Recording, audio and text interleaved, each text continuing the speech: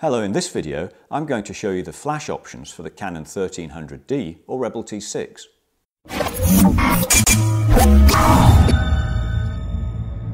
Watch right to the end of this video for a superb offer. Like most DSLR cameras, the Canon 1300D or Rebel T6 has an inbuilt flash and also a hot shoe for an off-camera flash. The built-in flash is an ideal fill-in flash for casual photography.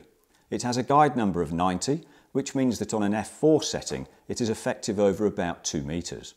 Both the built-in flash and the off-camera flash can use the camera's ETTL settings, which means that it uses the same information as the camera to get the best exposure for your pictures. The options for the built-in flash are shutter synchronization, and you can have front curtain or rear curtain, flash exposure compensation, and a choice between evaluative or average ETTL. There are more options for the off-camera flash. You can use manual settings and also have high-speed synchronization. If you want to know more about the flash options for this camera, then why not download a sample of our superb manual for the 1300D? It comes with four hours of over-the-shoulder training videos, and two of those videos are given away free with the sample chapter.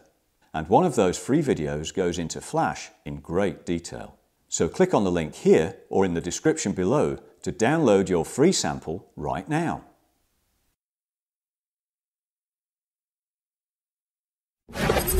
Yeah.